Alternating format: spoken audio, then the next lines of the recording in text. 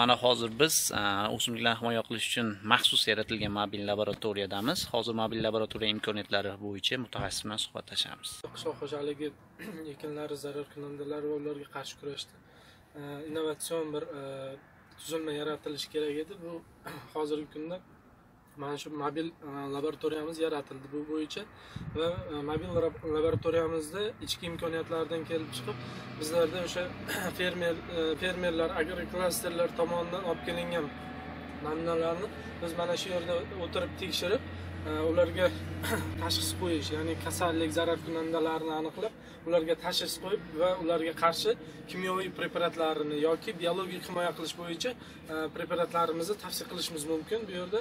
E, asosan o'sha qishloq xo'jaligi ekinlarida e, asosiy zarar yetkazuvchilar bular kasallik va zarar kunandalar hisoblanadi. Bu mobil laboratoriya demak o'sha fermerni ya'ni nima deydi? Taklifi yoki buyurtmasiga asosan joyni o'ziga dalani o'ziga boradi.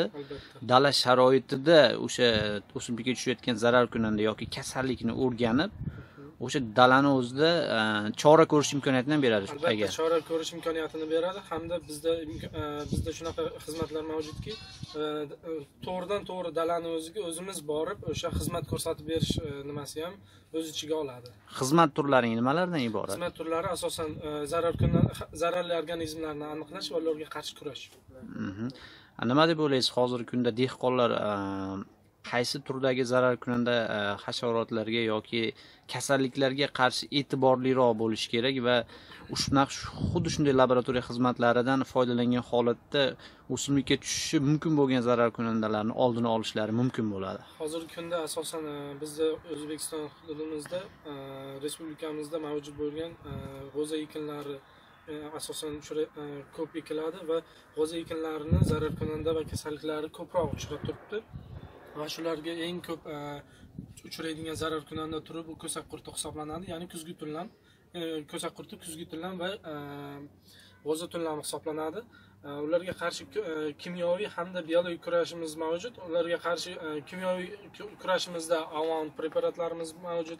Undan tashqari mana e, biologik himoya qilishimizda brakin entomfaglarimiz mavjud trixogramma entomfaglarimiz mavjud bo'lib bular bular asosan e, dalalarda biologik usulda himoya qilish e, nimasini beradi.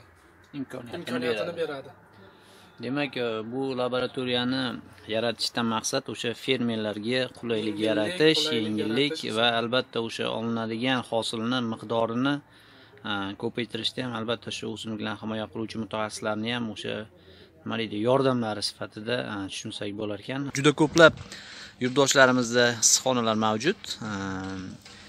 Siz mutaxassis sifatida hozirgi kunda issiqxonalardagi kasalliklar eng o'sha ko'p uchraydigan va ularga e, mutaxassis sifatida qanday bir tavsiya bergan bo'lardingiz? Hozirgi kunda e, issiqxonalarda eng ko'p tarqalgan e, zarar zararkunanda eng ko'p tarqalgan ekinlardan ya'ni o'sha pomidorni olishimiz mumkin. Pomidor eng ko'p zarar keltiradigan organizmlar bular zamburug'li organizmlar ya'ni fitoftoroz kasalligini qo'zg'atadigan zamburug'lar hisoblanadi. Ularga qarshi kurashda biz asosan preparatlarga murojaat qilamiz ya'ni fungitsidlarga. Ularga qarshi e, fungitsidlardan o'sha eng yaxshi e, e, preparat sostavga ega bo'lgan preparatlarimiz bular ridamil gold hisoblanadi. Bu ridamil gold kursat degan preparatlarimiz mavjud ularga qarshi. Undan tashqari issiqxonada pomidor pomidorda zararli organizmlar zararkunandalarga zarar e,